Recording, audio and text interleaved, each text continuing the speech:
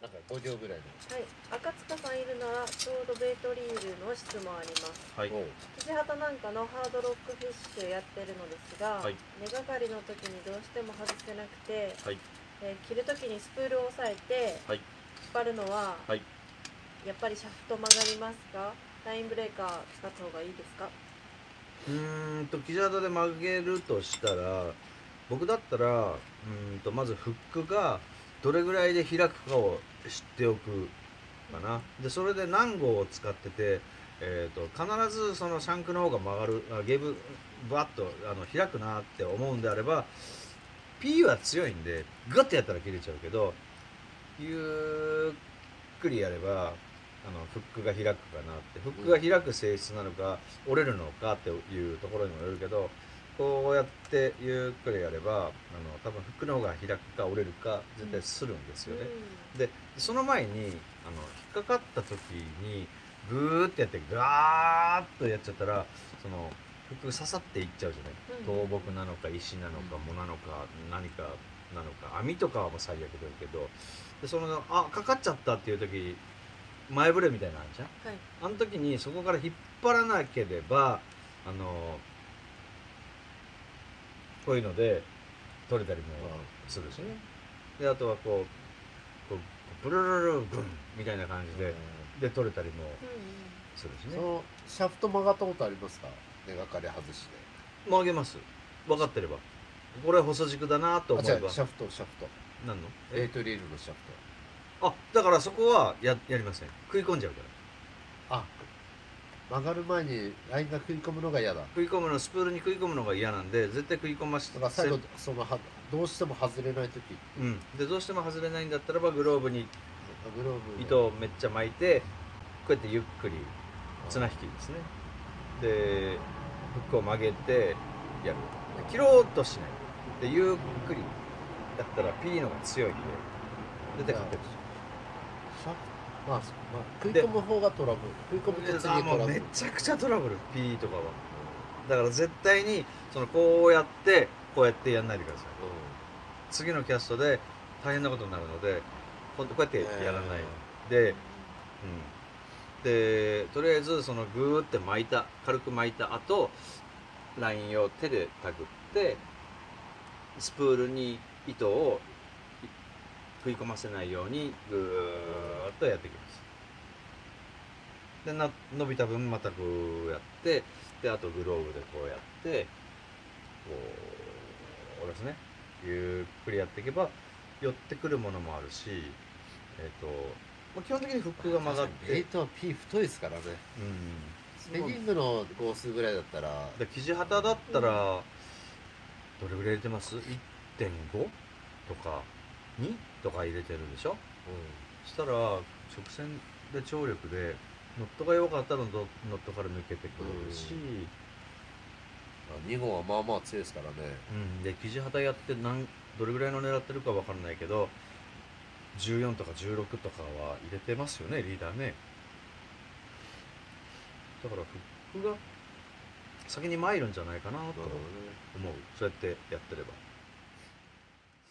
えー根がかり切る時なんかによくリールでねやる人います。でリールで切る時気をつけないといけないのはだいたい P1 号で7キロぐらいのねノット全体の負荷がラインの負荷がありますんで7キロの負荷がこうリールにかかるんですね。で切る時にこう引っ張ってますけどスピニングリールはここで90度ラインが曲がってるのでここに7キロの負荷がかかると確実にシャフトが軸が悪くなります。曲がります。でこの巻いてる時のゴリゴリ感なんとなくの揺れる感ブンブン感っていうのかな。そういったのは大体ですね釣りしてたらほとんどそれは起きないけど根がかり切るためにシャフトが曲がるってぐらい、え実はリールにとってとても良くないんですね。でその90度の負荷かけないためにしっかりここを押さえてやるんですけど今度はですねこの中にあるラインローラーに当然7キロの負荷がかかるんでえボールベアリングでボールベアリングは7キロぐらいの負荷では簡単には潰れないんですがそれでもですね真ん中にあるシャフトは細いので結構簡単にねちょっと歪みが入ってしまってラインローラーのシャリシャリ音の原因にもなってます。ということで自分はですねおかっぱりの時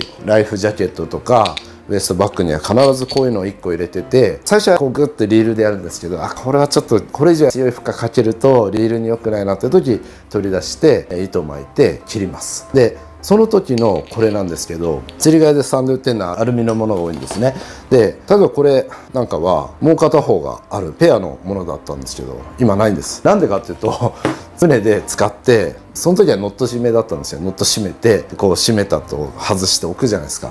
と基本ラインブレーカーはまん丸1000円のものが多いので転がってくるんですね。で船の排水口からポチャンと落ちてしまって当たり前だけどシンキングなんです。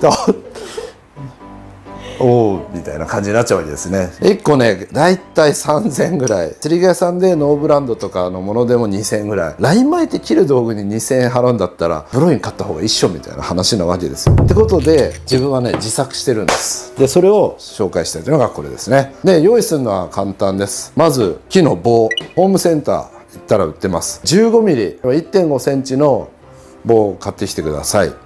で1メーター売り2メーター売りのものがあるんでめちゃくちゃ作りたい人は2メーターのもの買ってきたらいいし1メーターでも余るけど1メーターのもの買ってきてください。これが198円、はい、それから今度はですねホースですね。内径 15×21 まあもう多分今世の中で一番普及してるねゴムホース。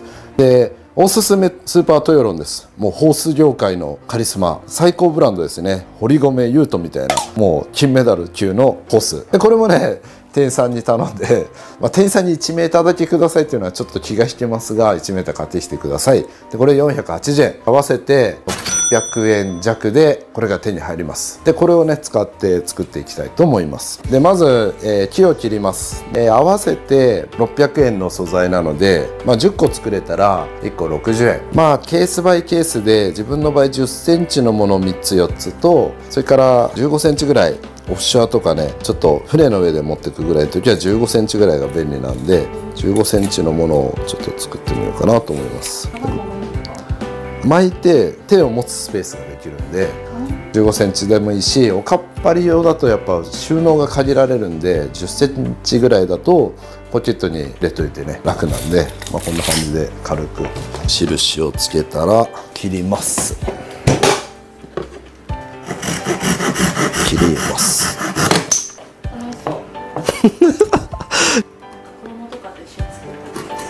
そうだね。最近の子は工作しないのかな。でも夏休みの自由研究でラインブレーカー作りましたとか。伝わらない自由研究選手権1位取れるね。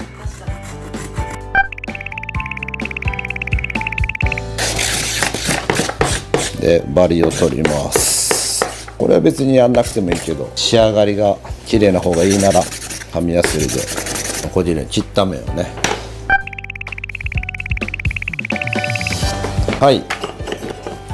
こんな感じで、まあ、断面をね多少綺麗に仕上げといた方が後々ね使ってて気分がいいんで軽くやすりや。これカッターナイフで削っても大丈夫。こんな感じで何本？とりあえず8本作りました。1 5センチ2本と1 0センチ6本。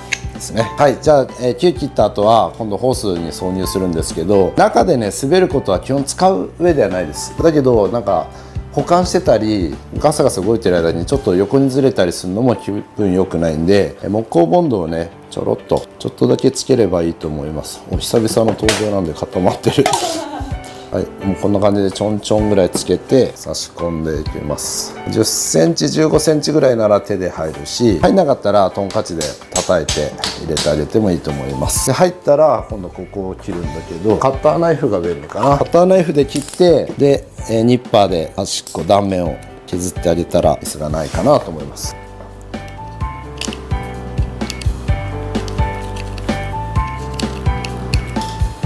すごくない？これ1個2000円。これ1個70円。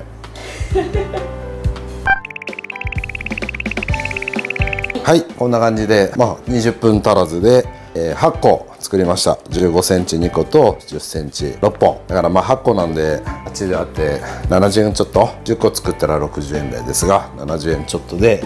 で使い方は簡単で P ライン根がかったりしたら実際ね竿の先から出てるラインをこう巻いてで巻く時に P ラインを交差させないことですね。P ラインが交差しちゃうとねそこの摩擦熱で切れちゃう時があるんで、えー交差させないでぐるぐるってやったらまああとは押さえて引っ張るんですけどその時しっかりラインが食い込んでくれてこれが滑るとその滑った摩擦熱でここで切れちゃう。要は根がかった先で切れるんじゃなくてここで切れちゃうっていうのが起きちゃうんで滑らないことそれから食い込んでっても切れちゃうんですね。その食い込むなんか切れた時の熱かなんかで切れちゃうんででも実際自分がこれでやってて、まあ、P55 でも切れないし P15 でも切れないです。でこれでグーッてやっていくとこうやってパチンって切れて回収できると。で実際皆さんが作ってみてホースがね切れて木まで P ラインが入ってっちゃうやつはちょっとホースの選定ミスだと思うんでそれの場合はね多分ね手元で切れる可能性が出ちゃうんで気をつけてください。でもねこのトイロンだったら絶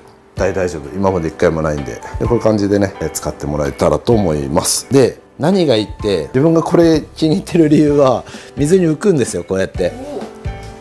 で当たり前だけどこれは沈むでしょ。これがおかっぱりで決定的な違い。で何ができるかっていうと使ってる人ならわかると思うんだけど、え根がかります。あちょっといろいろやったけどダメ。で P ラインの先端巻いてグーッと引っ張って切れちゃったらしょうがないけどルアーが外れた瞬間いかに早くこれをほどいてラインをリールを巻くかなんですよね。そうしないとまた根がかかっちゃうでしょ。その時にこれを捨てられるんです。